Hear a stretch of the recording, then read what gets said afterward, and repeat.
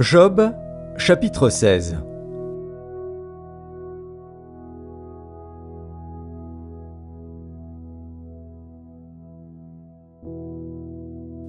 Job prit la parole et dit J'ai souvent entendu pareille chose. Vous êtes tous des consolateurs fâcheux. Quand finiront ces discours en l'air? Pourquoi cette irritation dans tes réponses? Moi aussi, je pourrais parler comme vous si vous étiez à ma place. Je vous accablerai de paroles, je secouerai sur vous la tête, je vous fortifierai de la bouche, je remuerai les lèvres pour vous soulager. Si je parle, mes souffrances ne seront point calmées. Si je me tais, en quoi seront-elles moindres? Maintenant, hélas, il m'a épuisé. Tu as ravagé toute ma maison. Tu m'as saisi pour témoigner contre moi. Ma maigreur se lève et m'accuse en face. Il me déchire et me poursuit dans sa fureur. Il grince des dents contre moi. Il m'attaque et me perce de son regard. Ils ouvrent la bouche pour me dévorer.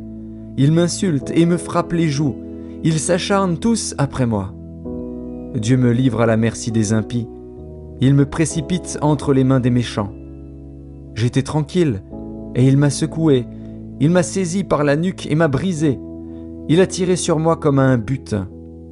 Ses traits m'environnent de toutes parts.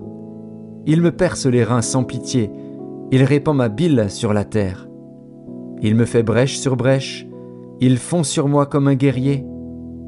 J'ai cousu un sac sur ma peau. J'ai roulé ma tête dans la poussière. Les pleurs ont altéré mon visage. L'ombre de la mort est sur mes paupières. Je n'ai pourtant commis aucune violence, et ma prière fut toujours pure. Ô terre, ne couvre point mon sang, et que mes cris prennent librement leur essor. Déjà maintenant, mon témoin est dans le ciel, mon témoin est dans les lieux élevés.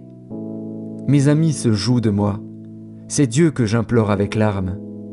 Puisse-t-il donner à l'homme raison contre Dieu, et au Fils de l'homme contre ses amis? Car le nombre de mes années touche à son terme, et je m'en irai par un sentier d'où je ne reviendrai pas.